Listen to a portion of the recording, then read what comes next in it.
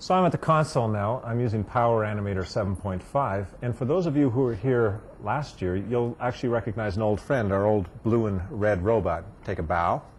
Now, if you recall, we're using MIDI controllers here to map in to the joint angles of, of, the, of the robot. So here, for example, I can cause the robot to bow at the waist, I can cause the arm to come up, or I can cause them to rotate. In fact, I can do multiple things at the same time.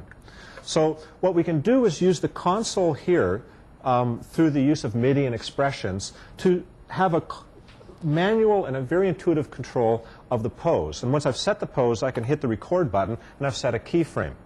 Now, what's interesting and different from last year is that we're actually using motorized faders so that the console is both an output device as well as an input device. Now, you'll notice that as I scrub along, that the faders always represent instantaneous value of the robot so that we get rid of any of the discrepancies between the controller and the controllee. This in music is called the nulling problem. And of course, when I hit playback, I can actually see the faders playing back with the animation. And you'll notice that these things all allow overrides so that I can do what I would call motion mixing. And it doesn't matter where these curves come from. They could have been specified um, through keyframes on the console, or they could have come from motion capture data. It doesn't matter. What does matter is that we can start to use techniques that we've used in the music industry for years and apply them to animation. And with the new kinds of power we're getting on the desktop, it's appropriate that we do so. We don't just want to make things easier to use, we want to change the way people work in a way that fits.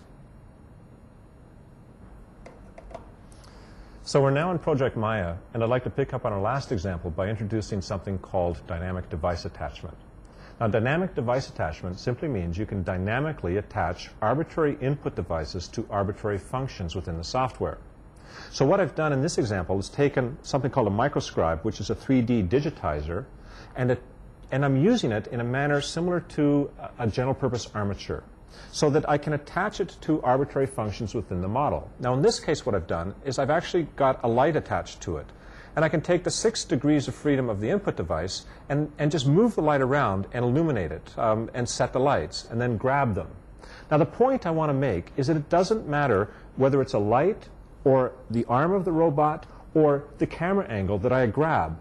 And the other part is that's sort of interesting when you take a general purpose armature like this, is that it doesn't have to look like the thing you're manipulating. You do the forward kinematics through the device, that comes for free in this particular case, and then just take the six degrees of freedom and map them onto your model. Now I'd like to show you some other examples where this notion of device attachment can be really exploited. So we're back again with Maya, still on the topic of dynamic device attachment, but with a new example, this time with a new robot and a colleague, Russell Owen, who developed the dynamic device attachment code. Now, the first thing I want to show you is that I've got a slider box here, which is a MIDI slider box. It's much smaller. It's like a chocolate bar size. And I can, like we saw before, I can attach different sliders to different parts of the robot. What's interesting here, however, is that at the moment I'm controlling the wrist of the left arm, for example, and by simply hitting a button, it attaches the uh, same controller to the wrist of the right arm. So I can go back and forth, left arm, wrist, right arm, wrist, with the same fader. Now, I can do the same thing for different joints on the same arm. I can manipulate the shoulder, you know, move things around and uh, get the fingers going and so on and so forth. And if I want, I can also get the body, where I can come and start to rotate his head. So the same input device can be used and mapped on different parts of the model dynamically. Now, this leads us to an interesting question. When you can start to manipulate different parts of the model in real time, tell me, what is the difference between manipulation and animation? And to my mind, at least, the difference is, are you holding down the record pedal?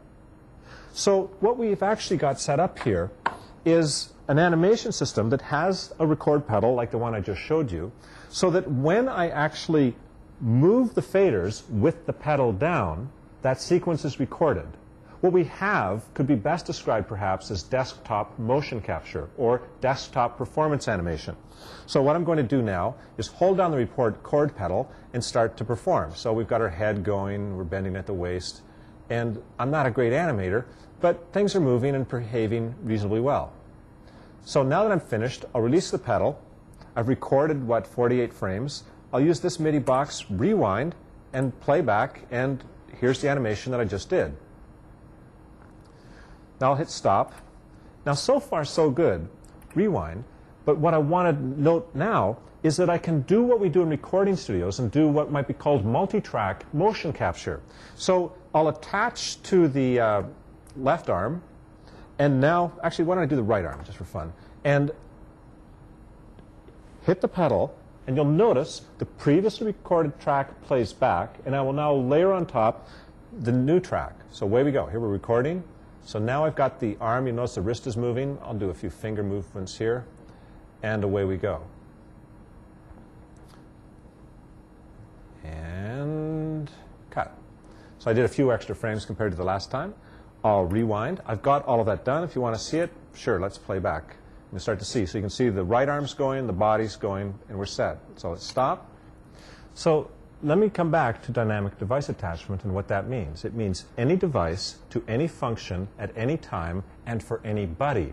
So now we've got a duplicate one of these slider boxes here. Russell's going to drive that. I'm going to drive this one. So what, Russell, why don't you do the fingers, and I'll do the wrist and the other parts of the arm. And we can actually puppeteer together. And so we've got two tracks done already.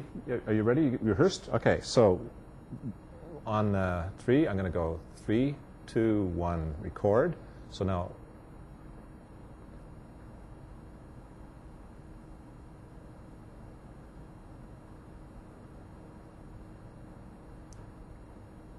Bingo. And we can stop, rewind, and play back this amazing opus. The point I want to make here is that as computation at the desktop becomes increasingly powerful, the whole paradigm of, of working must change. And things which have to do with motion capture stage and so on can now come to the desktop.